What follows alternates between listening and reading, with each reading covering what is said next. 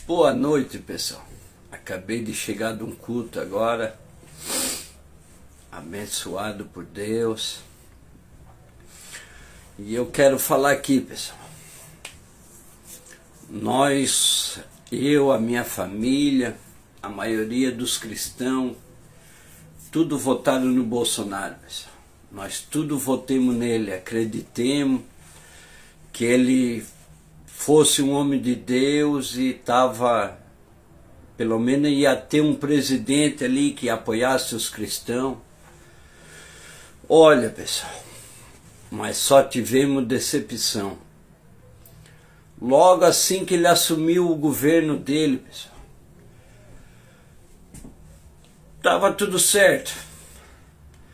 Até de repente aquele avião dele lá que foi preso ali com 39 quilos de cocaína dentro, uma vergonha para o Brasil. Aí me deu um estralo na minha mente, pessoal. Eu assim, opa, isso aí não pode ser de Deus. Mas continuemos assim. Daqui a pouco ele liberou as armas, pessoal. Aí me deu um estralo mais grande ainda na mente. Como que uma pessoa sendo de Deus pode liberar a arma? E eu quero perguntar para você que é cristão: quem entrou em festa?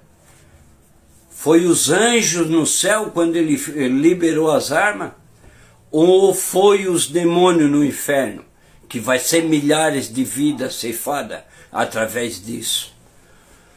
Olha, pessoal, se enganemos, pessoal. Ele é o maior mentiroso enganador de todos os tempos. Ganhou a eleição na mentira e hoje quer ganhar na mentira de volta.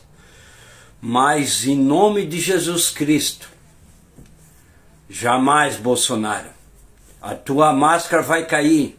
E esses cristãos, pastores, que estão envergonhando o Evangelho.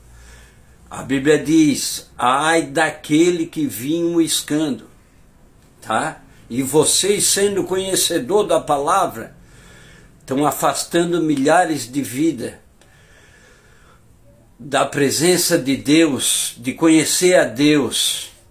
Aí depois o Edir Macedo ali pergunta por que que está caindo a audiência da Record. Porque se meteu com pessoa enganador, filho do diabo, que o pai da mentira é o diabo.